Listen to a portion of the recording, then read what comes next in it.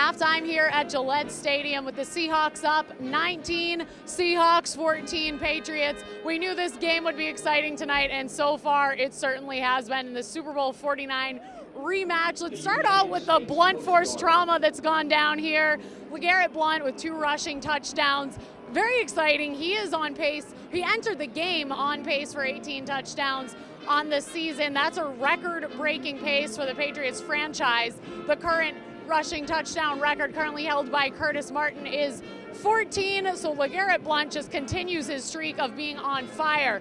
Now, there was a scare for Patriots fans here when Rob Gronkowski took a hard hit from Earl Thomas. He left the game, did not go to the locker room. He was on the bench, was examined by doctors, went through concussion protocol, was cleared, and was back out here. The crowd was obviously very happy to see him back. And now the Patriots did enter this game with being the only team in the NFL that had not had an interception. Pretty impressive when you consider that's not just Tom Brady, it's also Jimmy Garoppolo and Jacoby Brissett who started out this season.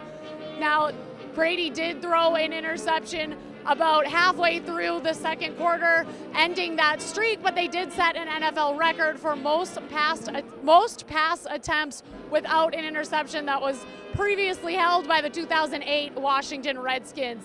Now, we want to keep it on NESN.com for all your Patriots coverage throughout this game. It has been a thriller so far. We expect it to continue that way, so make sure to keep it locked on NESN.com.